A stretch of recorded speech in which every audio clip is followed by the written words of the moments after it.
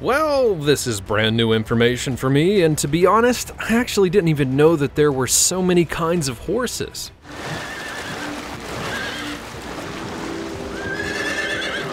I'd never thought beyond the brown ones, the speckly ones, the big ones and little ones, you know, so this is going to show us all a whole new world about ponies. what? Ponies aren't horses? For crying out loud. Let's get on to some horse knowledge. From badass Nazi fighting horses to milking mares in the wilderness, here are 15 of the most incredible horse breeds in the world. Number 15. The Belgian horse breed. If you need a really big horse, then the Belgian is the best you can get. These mighty creatures originated from the small European country of Belgium, but were developed into the modern breed in the USA. Belgian horse is the most popular breed of draft horse, which is another way of saying workhorse. They're strong and docile, and that makes them such good workers. Now, if you've ever taken a horse drawn ride down Disney's Main Street, USA, then likely that carriage was pulled by a Belgian horse. These hefty workers are also used to pull plows, heavy logging work, and as well as sleighs and carriages. Belgian horses are also world record holders. The Belgian, going by the name of Big Jake, holds the current record as being the tallest horse in the world. He's a long-legged 20 hands high and 2 and 3 quarter inches. Horses are measured by a system of hands, with one hand being equal to 4 inches. So, doing the math, that, mm, let's see the numbers and carry the one, Big Jake's over 2 meters tall. The title of most expensive draft horse that ever was purchased is still held by a Belgian breed named Mikkelrath's Captain Jim, selling for $112,500 in 2003. A stable investment, perhaps? Before we go on, like this video, smash the subscribe button, and click the notification bell right now, or this centipede will crawl on your face when you're sleeping. Number 14. The Shire Horse Breed.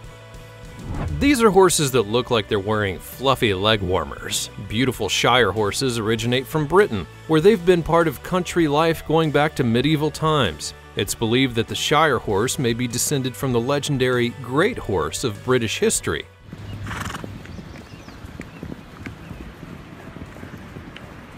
Famous for being used in big battles of the past, warrior skills, as well as superior strength. Before the technological transformation of farming in the UK, Shire horses really did pull their weight and a whole lot else. They were used mostly for heavy pulling work, like plowing and logging, delivering goods, as well as lugging great weights of coal in wagons across the country. They're perhaps most famous for being the horse of choice to pull carts loaded with huge barrels of ale from the brewery to the pubs. And there are many depictions of the Shire horse doing just that in paintings in the 19th century. Well, that's a useful horse. Number 13. The Clydesdale breed during the First World War, many breeds of horses were being used by troops in horrific conditions in the trenches and battlefields across the Western Front. More than 8 million horses, ponies, and mules actually died during World War I. The Clydesdale heavy horse breed, which was used to haul huge artillery guns, suffered the most dreadful casualties on battlefields. More of these magnificent beasts of burden would lose their lives than any other horse breed in the conflict. This extraordinary breed of horse began to dramatically decline in numbers during the middle of the 20th century because it was no longer required for the sort of work that the heavy horse had been bred for in the past. The dwindling numbers of Clydesdales would result in the horse being considered vulnerable in the present day. They're now categorized as being at risk. Number 12. The Percheron, horse breed Originating in the French former province of Le Perche in northern France, it is believed that the modern-day Percheron horse is descended from breeds that were used as battle horses that carried knights of war. In the 17th century, this region would become the place to go to for the strongest horses, and the breeds of Le Perche became famous for their extraordinary power and desirability. It was in the century that followed that the Percheron, as it's known today, would be developed. All of the Percheron in existence today can be traced back to a horse named Jean Leblanc from the 19th century. This creates a sort of horsey aristocracy. The horses that developed after this were particularly prized by the French army. Later in the 19th century, the Percheron would then be taken to the United States, a dreadful and dangerous journey for anyone. Horses didn't end up faring too well. The first attempt to transport a total of eight horses would be a disaster, resulting in only two surviving the voyage. They were, luckily enough, a male and a female. And I guess they must have fallen in love because they had some babies, which then created the first of the American Percheron on record.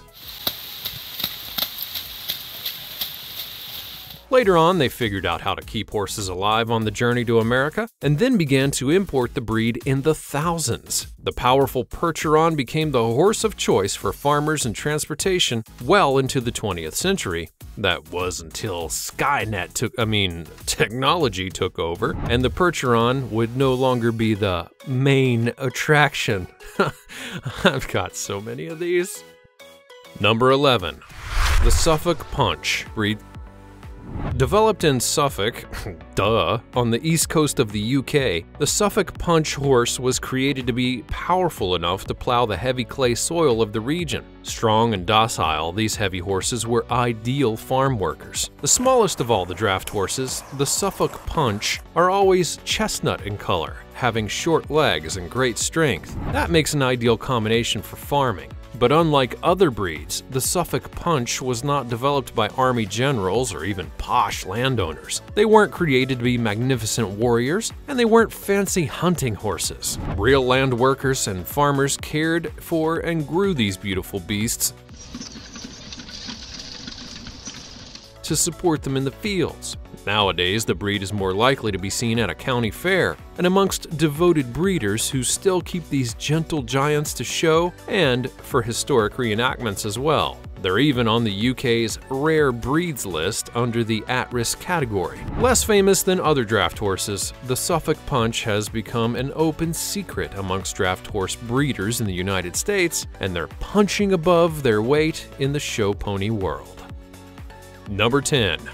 The Norwegian Fjord breed the Viking warrior's horse of choice. This ancient breed is not only striking looking, it's also one of the oldest breeds of horses in the world, thought to date back over 4,000 years. The dun-colored creature is easily recognizable with its bold mane and tail, darker in color than its coat, and often with dark streaks. It's a pretty cool looking horse. For a Viking and probably many other horse riding colonials, throughout time, the comfiness of your horse is really important. Spending huge lengths of time in the saddle, the Vikings literally traveled the globe on horseback. It's really difficult to enthusiastically plunder and pillage your way around the world if you have a sore bottom, you know. Oddly enough, one of the characteristics of the Norwegian fjord horse is that they are, in fact, more comfortable than other breeds. Now, I'm not talking like recliner levels of comfort.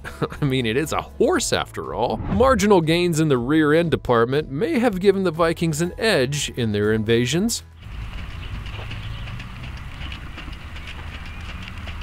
However, the legacy of this choice of horse remains. The Norwegian Fjord breed can be found around the world to this day and is still a great choice for horseback riding. So giddy up! And before we get to number one, what do you think is going to be the top horse on the list? Write it down in the comments below and then come back and let me know if you were correct. Number 9. The Dole Gudbrandsdal breed. Horses have always been very important in Norway's history and culture. What with the difficult terrain and lots of snow, the horse has been a vital part of literal survival in the harsh landscape originating in Norway's Gudbrandsdal Valley. Hope I pronounced that correctly. Dole horses have been around in one form or another since as far back as 800 BC. The Dole is not only a great all-around horse, but one of the things that makes this breed so incredible is that it has especially large lungs. Which is weird, right? But it is these big old breathing kits that make this breed so good at the sort of farm laboring that they're known for. During the Second World War, Norway was invaded and occupied by Nazis. The Dole Gudbrandsdal horse was used widely during the initial battle for Norway. So these horses are kind of like Nazi fighting resistance heroes. Let's learn a teeny bit about languages because it's relevant, I promise. So, modern day Norwegian, the word for horse is hest. Dolhest is the Norwegian name for this breed. In Old Norse, there were two words for horse. There was hester, meaning stallion, and hros, which meant mare. In fact, that's where the English word horse comes from. I can actually feel my brain growing. How about you? So much horse knowledge. Number 8. The Russian Heavy Draft breed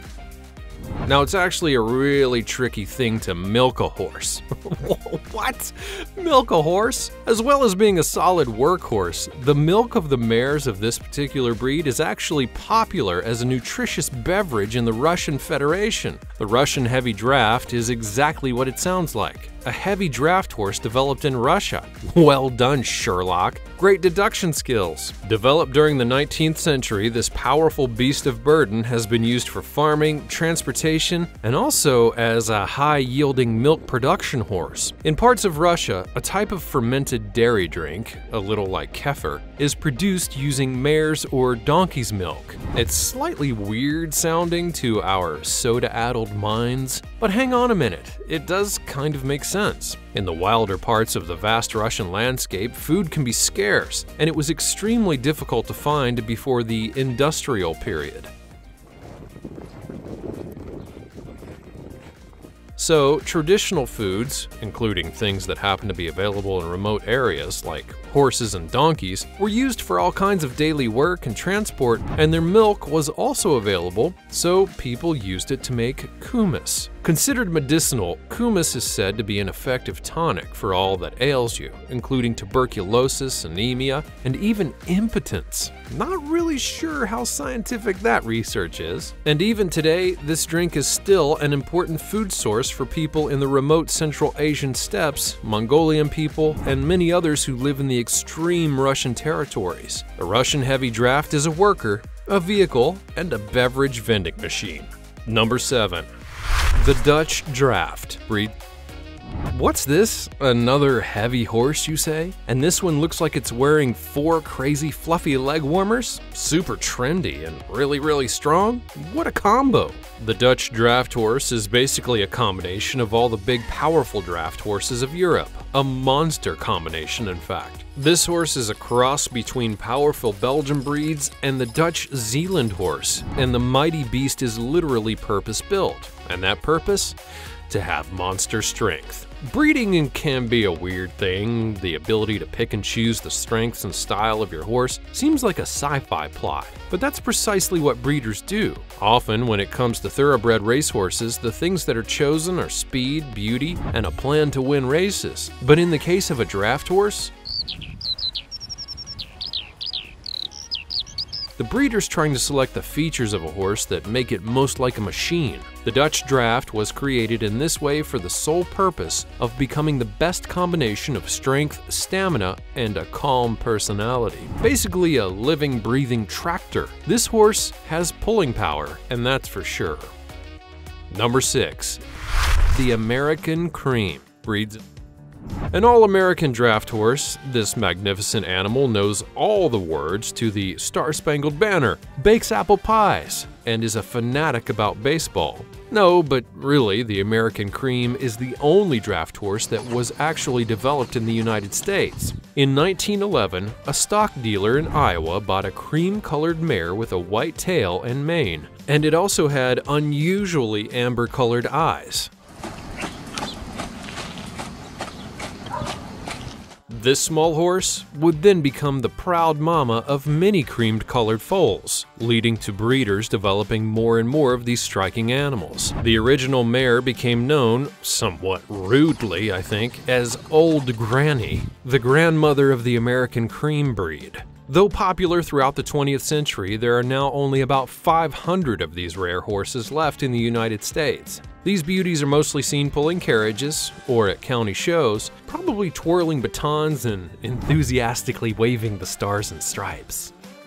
Number 5. The Jutland horse, breed now, I admit it's probably not the best breed in the world. However, the Little Jutland Draft Horse is the one used by the Carlsberg Brewery in Copenhagen, to this day pulling its drays around the city. Since Carlsberg started producing beer in 1847, they've used horsepower to transport their barrels. When they opened back then, the Carlsberg Brewery Company employed more than 300 horses, a variety of different breeds originally, but now they have just seven little Jutland horses on the books. In the 1920s, the brewery was using about 200 Jutland horses. It was far and away the horse of choice for this company from its early days, and when there began to be concerns over the future of the breed, that's when they decided to go all in with the Jutland.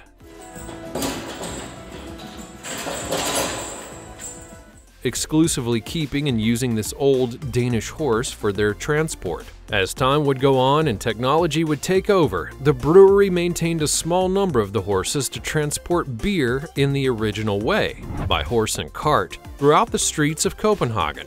They're still seen today, representing the Carlsberg Company at fairs and festivals and can even be seen in the city streets. The horses have become a tourist attraction as well, drawing visitors to the Carlsberg stables at the brewery. So, the Jutland, although a more rare breed than it used to be, is still an incredibly important part of this particular part of life in Denmark. You could even say they're the main event. Number 4.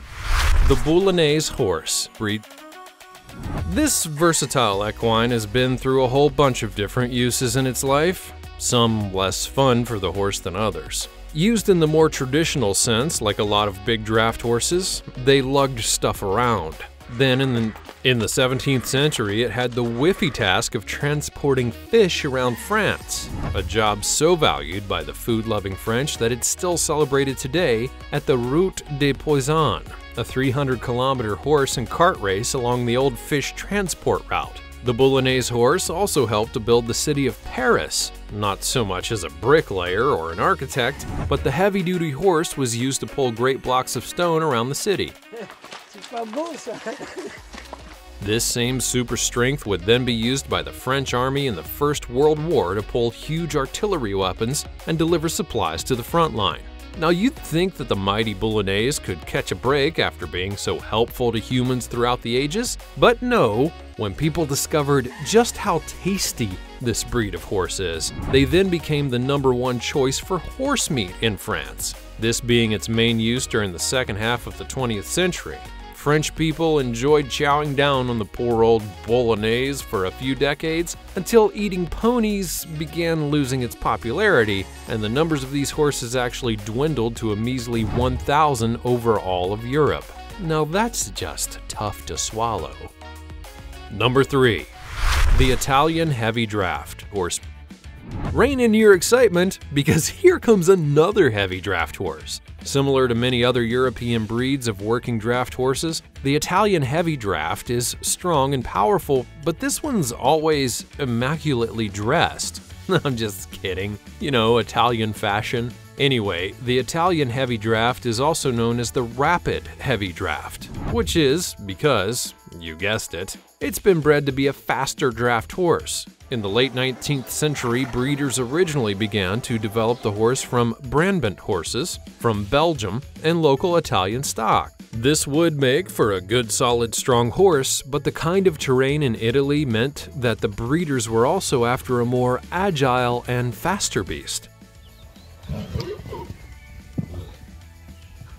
So these mad scientists, uh, sorry, breeders, would add in a little percheron and a dash of bolognese, not spaghetti bolognese, the pony kind. But it does sound like a recipe, doesn't it? A base of Brabant, a handful of Italian horse, a tablespoon of percheron, just a pinch of bolognese. Anyway, the result would become a horse that could perform these sort of agricultural tasks that were unique to the particular Italian landscape.